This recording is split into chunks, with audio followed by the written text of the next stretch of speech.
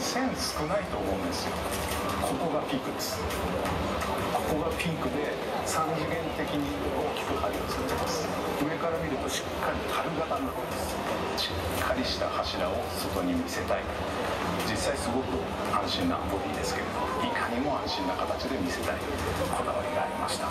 さらにこのタイヤの見せ方踏ん張り痩せ方ここはすごくこだわったポイントです。やっぱり中身がいいのをスタイリングでも表現がしたい。